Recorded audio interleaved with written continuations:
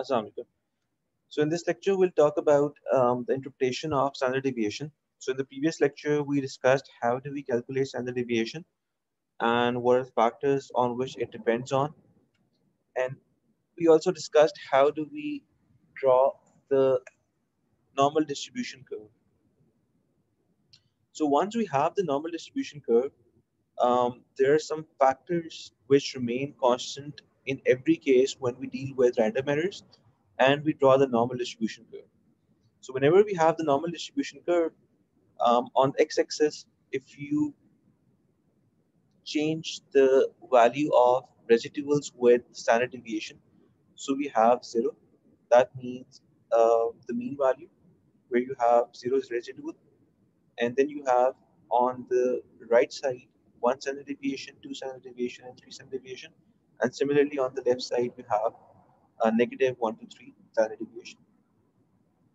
So what this graph tells us that um, between one standard deviation and negative one standard deviation, you have values 68 68.2 percent of the time. So 68.2 percent of the time, the value will lie between plus minus one standard deviation. Similarly, if you increase the range, the percentage of values in the range will keep on increasing. And beyond plus minus 3 standard deviation, the probability that the value will lie there is pretty small. So what this graph tells us is that um, we can calculate the probability of errors in a set of data. So let's say if I have a data of 10 students um, giving me 10 values for a certain angle, I can calculate standard deviations. And once I have the standard deviations, I can calculate the probability of error. So what is probability that next time a student gives me a value, it will be between a certain range. So I can now assign percentage of probability to different values and that can give me confidence on the precision of the data that I have. So another way to look at this curve is when you have um, uh, the, the values between plus minus 1, plus minus 2, and plus minus 3 standard deviation in terms of percentage combined. So 68.26% of the time, the value should lie between plus minus 1 standard deviation 95.46% of the time which lie between plus minus 2 standard deviation and 99.72% of the time it will lie between plus minus 3 standard deviation. And it might be hard for you to um, imagine it or to picture it properly, but in the live lecture, we'll talk about different examples uh, which will help you to understand it uh, in a better way. So these errors, uh, 50, 90, and 95 are commonly used as um, as values to comment on the accuracy of the data. So what we have calculated is that uh, between plus minus one standard deviation, the percentage of values is 68.26 and between plus minus 2 it is 95.46 and plus minus 3 it is 99.72 what I'm interested in calculating is what between what range do 50% of the values lie? Between what range do 90% and 95% of the values lie? So I can convert this into that format. So um, from this graph, I can see that between these two ranges, I have 68.26% and if I want to go for 50%, that would mean that the range would decrease. So that means it won't be plus minus one standard deviation. It would be something smaller than that. Similarly, if I want to do it for 90, it would be somewhere over here, the ranges. And that means it won't be plus minus two standard deviation. It would be something smaller than that. And we can actually see that in the next slide where they have calculated the standard deviations for 50, 90, 95% errors. So for 50, we discussed it must be less than plus minus 1. It's 0.6745. Similarly, for 90, it is 1.6449. And 95, it is 1.9599. So the 50% error is called as the most probable error and it establishes the limits within which the observation should fall 50% of the time. In other words, an observation has the same chance of coming within these limits as it has of falling outside of them. So um, when you have this range, so you can give a prediction of 50% probability. And the so-called three sigma error is often used as a criteria for rejecting individual observations from the sets of data. Thus, within a group of observations, any value whose residual exceeds 3 sigma or 3 times standard deviation is considered to be a mistake and either a new observation must be taken or the computations based on one less value. So what we would do is that if we have a set of data, let's say I have uh, 10 values right? And using these 10 values, I calculate the standard deviation and I calculate first, well, first I calculate the residual for all these 10. And then using the residual, I calculate the standard deviation and then I can calculate plus minus three times standard deviation. And then what I would do is I would compare the residual for each of them with the plus minus three standard deviation. And if the residual is greater than this, I would omit that value from the set of data. So if before I had 10 values, now I would be left with nine values. And then using these nine values, again, I would calculate a new standard deviation and use that for the rest of the calculations. Because the, the theory says that if a residual is more than a certain value, then it means that that error is not a random error. That is a probably a personal error or systematic error that has to be eliminated because whatever we're doing, uh, we're doing it for the random errors and not for other types of errors. And random errors don't have a very large value.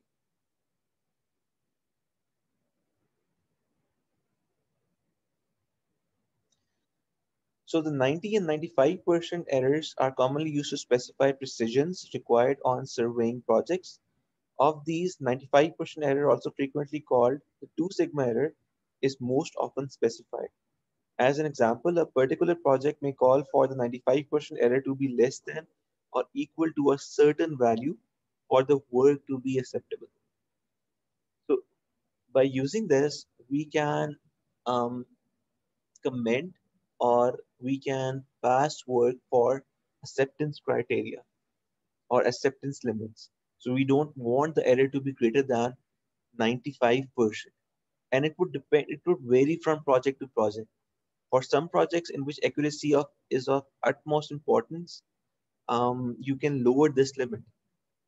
Uh, for other projects, you can again extend this limit and these can differ based on what project you're working on. The range of values within which the true value should lie for a given probability is required this range is called as the confidence interval. Its bounds called the confidence limits. A figure of 95% is frequently chosen. What that means is um, that for any project, you can determine the confidence limits.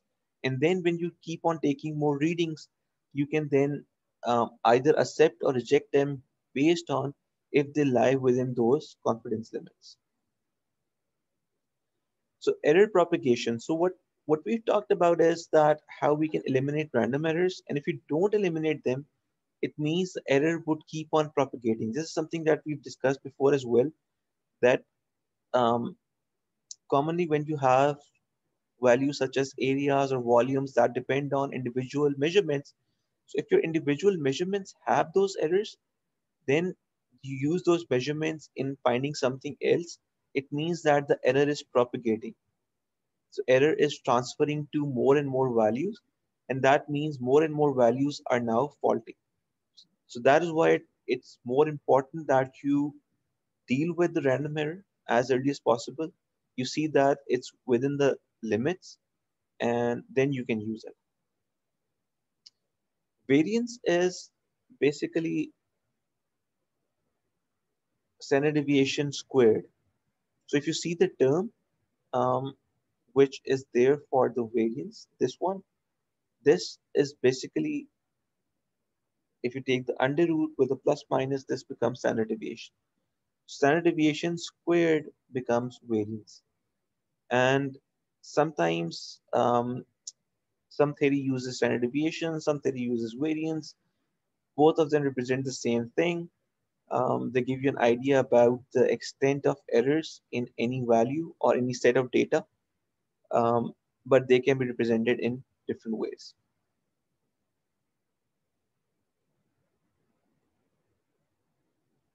Then we have error of the mean.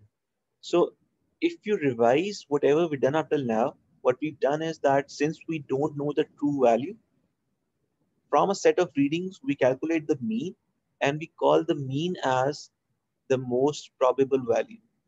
And then from that most probable value, we subtract individual values to calculate residuals. And then using those residuals, we calculate the standard deviation. Now the problem is that each individual value has some error. And we use those values to calculate the most probable value. So that means the most probable value also has an error. And at the end, you need to account for that.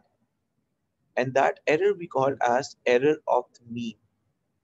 So it says that since the mean is computed from individual observed values, each of which contains an error, the mean is also subject to error. So what we can do is that we can calculate the error of the mean and it is equal to standard deviation divided by under root of the number of values that we have used to calculate that. So more the number of values that you use, the lesser would be the error in the mean. That is why we also say that, always say that the data set has to be bigger the bigger the data set, the lesser the chances are of an error in the mean. So what is the applications of the probability models that we've studied? So one is that to analyze observations already made or comparison with other results or with specification requirements. So it, um, I can give an example of um, a machine which is used to fill up bottles of Coke, let's say. Now, that machine is programmed to fill in, let's say, 1.5 liters every time. But due to, you know, um, random errors, it, it's not 1.5 liters every time. It's something more or less than that. And if we conduct an experiment on, let's say, 30 bottles, we see that how much the machine is filling up. Now the most probable value in this case has to be the true value, which is 1.5 liters. Now whatever it has filled up 30 times, we can calculate 30 residuals and then we can calculate the standard deviation. Once we have the standard deviation, we can comment on the working of the machine. So we can say that 95% of the time, the machine makes an error of this range. 50% of the time, it makes an error of this range. So we can analyze observation already made, and then we can compare it with um, what the specification requires it to be. That means the specification says that it has to be 1.5 liters, but what it what is it actually giving us in terms of probability or percentage? And the second application is to establish procedures and specifications in order that the required results will be obtained. So once you have the probabilities, you can make some amends. For example, um, in the same example of Coke, we can reprogram the machine to let's say fill in 1.51 liters instead of 1.5 or something lesser than that based on what that machine is doing. Similarly, if I have, uh, if I make two group of students of 10 students each, and I tell them to give me a particular reading, I can calculate standard deviation for both the groups. And I can see that which group has more precision. It's giving me a better value. And then I can shuffle the two groups so that both the groups give me values within acceptable limits.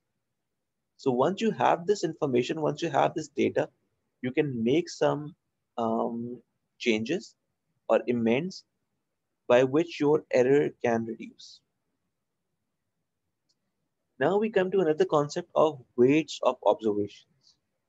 So what this basically means is that um, if I ask five students to give me a particular reading, now what I was doing before is that I was treating each student or the ability of each student or the reading of each student as equal. So I use the five values, I calculate the average, um, call that the most probable value, calculate the residuals, and then the standard deviation.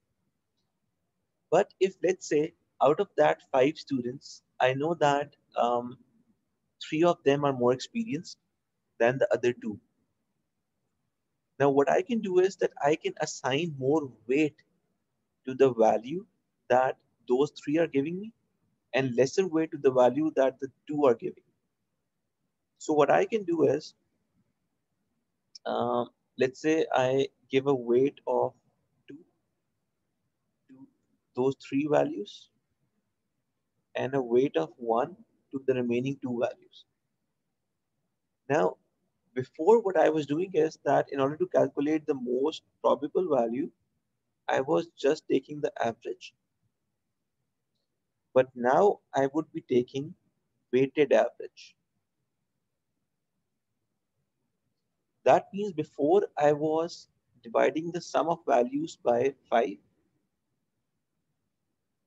Now what I would be doing is I would be multiplying 2 with the summation of three values. And I will be multiplying one with the summation of remaining two values. And when I divide, now I would be dividing by eight. Weight multiplied by individual value and the summation. So this is how the average in this case would be tilted towards the values to which you give more weight. So in this sense, your end results become more reliable. So this is the concept of weights in observations. And now let's see a couple of examples which will help us to understand this concept better. So MW with this bar is the weighted mean and the sum of individual weights times this corresponding observations divided by the sum of weights. So this is what I've just explained before. And let's see this example. Suppose four observations of a distance are recorded as these values and given weights of 1, 2, 2, and 4, determine the weighted mean. So in order to calculate the weighted mean, what you would do is you would multiply the weights with the individual observations. So 482.16 multiplied by 1 plus 482.17 uh, multiplied by 2, 42.2 multiplied by 2, and 42.18 multiplied by 4 divided by the sum of weights. So now what we have is we have a weighted average, which is more tilted towards the values which have more weight. Otherwise, it would be equally uh, weighted. So every value would have the equal input towards the average calculation. So another example is that assume observed angles of a certain plane angle triangle and the relative weights. So we have a triangle for which we have measured uh, the three angles A, B, C. And we say that yeah, for, for a particular angle, I use a better equipment. That means that the chances of error in that angle is lesser um, than the other ones. So what they've done is they have given the weight one equal uh, for the angle A and two to the angle B and 3 to the angle C. That means that when we calculated the angle C or observed the reading of the angle C, uh, we either had the best instrument or we either had the best surveyor. So that means that value should be given more importance than the other two values.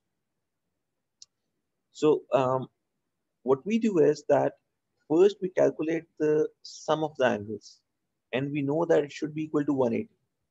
But in our case, it comes out to be 179 degrees, 59 minutes and 56 seconds. So that means it's not equal to 180. There's an error. And usually what we would do is we would calculate the error and divide it equally to the three angles. But now since we have the weights, we will give um, lesser correction to the angle C and more correction to the angle A and B because they have lesser weights. That means when we observe those angles, there were more errors. So in the second column, we write down the weights, one, two, three, and then we write down the correction. So the correction that we have written down doesn't really have one rule. What they've done is that they have given a random correction of 6x to A, 3x to B, and 2x to C. How they've done it? They have given a correction of 6x to A.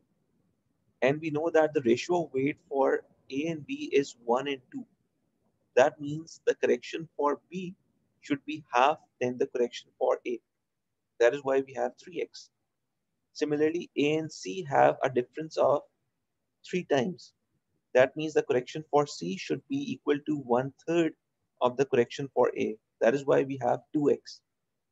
Other way to do it is just give a correction of x. Correction for B would become x by 2 and correction for C would become x by 3. So it doesn't really matter. You can do it either way. The answer would be the same. And the total correction is 11x, right? And the correction that actually needs to be applied is 4 seconds. Since we know that it has to be 180 degrees, but it is 179, 59, and 56. That means the correction is of 4 seconds. And the total correction that we've calculated is 11x. It could be any other value, doesn't matter. Um, but this is how we proceed. So x becomes 0.36, and that means we add 6 into 0.36 in A, 3 into 0.36 in B, and 2 into 0.36 in C. And the total correction is 4 seconds. So when you add it, then you take the sum again, it now becomes 180 degrees. So this is how we distribute corrections to each value based on its weight. Otherwise, we would have divided 4 seconds equally in the three angles, which would have been wrong. So how can we incorporate weights when we calculate standard deviations? So if you recall the method for standard deviation, we have um, individual residuals, and then their square divided by n minus 1 and all that. Um, when we incorporate weights as well, what we can do is, is that in the equation, we can introduce the weight omega. So um, if you introduce omega, that means you have to multiply each residual by its relative weight. And then you can take the summation and divide it by n minus 1. And if you want to calculate standard deviation of an observation of weight, any weight, you can in the denominator introduce that weight and that will give you the standard deviation for a particular weight. So if you have different weights in your observation, then um, you can calculate different standard deviations for weight one, weight two, weight three. And based on which standard deviation you want to calculate, you can input the values into the equation based on that. So that means that more the weight um, for a particular value, or if you imagine that all the values have a particular weight, then standard deviation would decrease. And if all the values have the same weight or single weight, then obviously the standard deviation would increase. So we have these values for angles. And what we need to do is calculate the most probable value. That would be just the average of all of these 10 values. The range, that would be the maximum value minus the minimum value. Standard deviation. So once you have the most probable value, you will calculate 10 residuals, um, take their square, summation divided by 10 minus 1, under root with a plus minus, that would be your standard deviation. The standard error of the mean. So remember we uh, we studied the equation for standard error of the mean. Um, that is standard deviation plus minus divided by under root n. That would give you standard error of the mean. And then you have to calculate 95% confidence limits. So for that, we had this equation. Um, for 95, we have 1.9599 standard deviation with a plus minus. So that would give you the confidence limits. In the next question, we have the length of a baseline was measured using two different EDM instruments A and B under identical conditions with the results given. Determine the relative precision of two instruments and the most probable length of the baseline. so in this question, what we have to do is, um, we have a line, a baseline, which is measured by two different EDM instruments. And from the instrument A, we took one, two, three, four, five, six readings. With instrument B, we took one, two, three, four, five, six, seven, eight readings. And we need to see that which instrument is more precise. Obviously, uh, we have two sets of readings. For each set of readings, we would calculate the standard deviation. And for the set of reading whose standard deviation is smaller, that means that instrument is more precise. Then we have to um, assign weights to both of these um, readings or both of these instruments. And using those weights, we will calculate the most probable length of the baseline using two sets of data.